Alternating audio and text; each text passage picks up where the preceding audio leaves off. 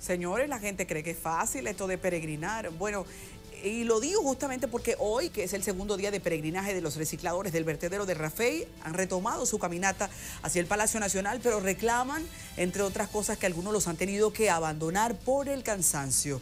Dicen que van a llegar hasta el Palacio Nacional reclamando que haya mejores condiciones de salud para ellos.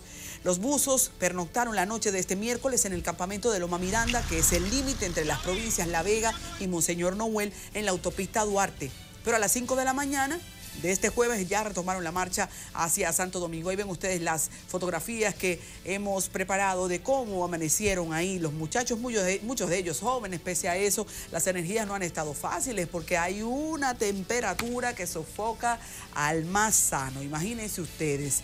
De hecho, no los han asesorado bien en materia de peregrinaje porque ellos dicen que están muy cansados y que algunos se han devuelto, es que no les dieron los truquitos de que la gente se monte en una guaguita en muchos tramos.